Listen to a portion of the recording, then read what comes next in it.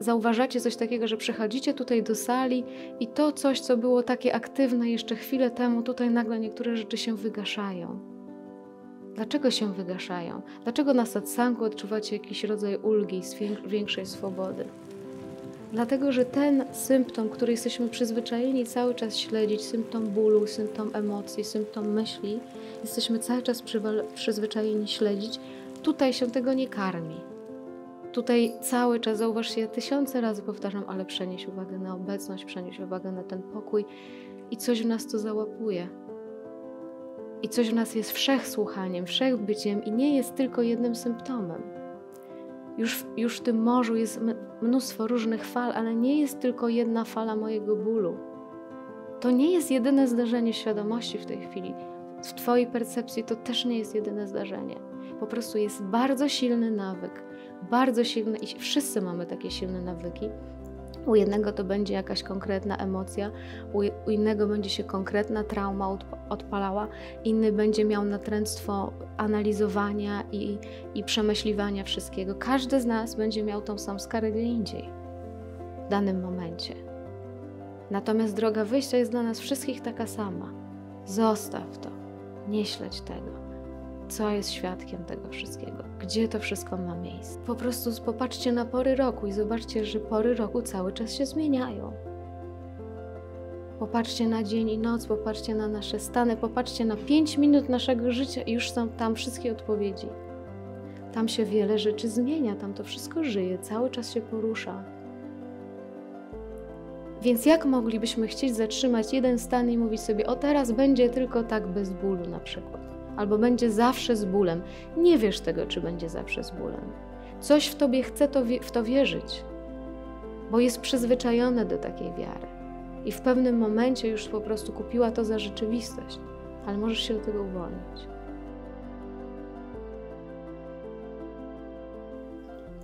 Więc jeśli widzicie, że coś ma początek i coś ma koniec, to gdzie byłeś wtedy, kiedy to się zaczęło i kiedy to się skończyło? Gdzie byliśmy?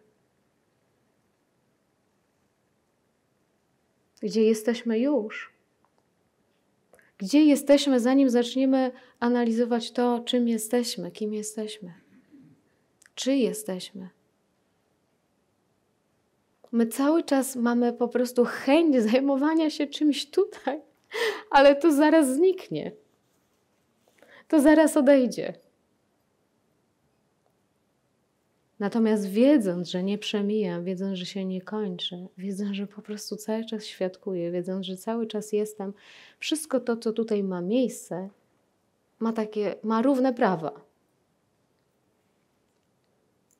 I coś w nas przestaje się kłócić z tym. Więc nie dodaje jeszcze dodatkowego tutaj ruchu. Więc dzieje się ból, nie wskakuje, ojej, nie powinno go być, no nie wolno, nie wolno, niedobrze. Albo dzieje się szczęście, no to teraz musimy coś z tym jeszcze więcej zrobić. Ten dodatkowy ruch wymiera. Po prostu. To opada.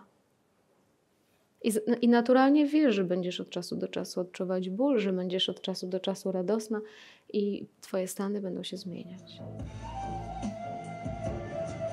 Przeguby, kciuki, palce wskazujące, palce środkowe nie.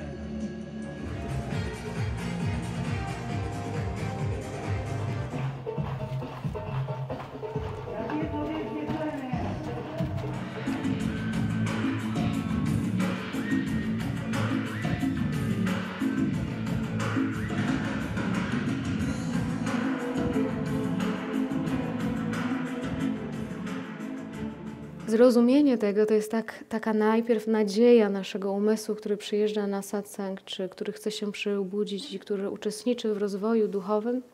Na początku jest taka wielka nadzieja, bo też i jest wielka obietnica. Wielkie górnolotne słowo oświecenie. No obietnica jest potężna. A ta obietnica jest naszym przekleństwem. Bo gdzieś w pewnym momencie uwierzyliśmy, że od tego momentu, jak ja tam dojdę, będzie tylko dobrze ale to jest zupełnie dobrze na innych warunkach. To nie jest dobrze tak, że nagle po prostu jestem najpiękniejsza, najmądrzejsza, najładniejsza, nic mnie nie boli i jest tylko cudownie. To zupełnie nie są takie warunki. To jest zrozumienie, że, że wszystko może być. I wszystko musi być, i wszystko musi się zmieniać tak jak pory roku.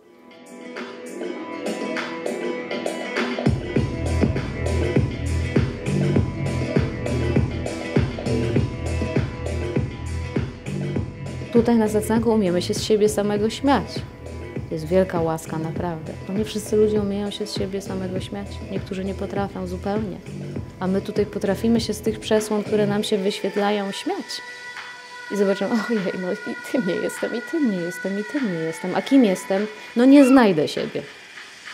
Nie znajdę. To jest niemożliwe. Będę widzieć tylko rzeczy, które są nieprawdziwe, bo one się pojawiają na chwilę. Więc jeszcze raz, poprzez widzenie tego, czym nie jestem, poprzez widzenie najsubtelniejszych, subtelnych, najpiękniejszych, najmądrzejszych, najbardziej światłych, najbardziej religijnych, przebudzonych, dobrych rzeczy, rozpoznam, że jestem wcześniej. I w żaden specjalny sposób, po prostu. Więc przestaję kupować to, co widzę na chwilę za totalną i absolutną rzeczywistość. Przestaję wyróżniać się z całego świata, że ja wiem, albo że ja chcę, albo cokolwiek. Samolubstwo nasze własne się zaczyna kończyć.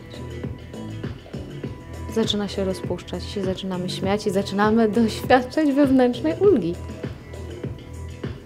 Od samego siebie, od tych przesłon. I każdy z nas tutaj siedzi. Każdy tu siedzi. I każdy w taki sam, taką samą ma drogę do rozpoznawania. Poprzez widzenie tego, czym nie jestem, rozpoznaję, kim jestem, czym jestem.